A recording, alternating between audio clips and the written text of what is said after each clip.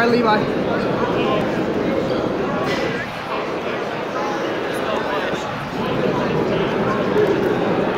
Your game, brother.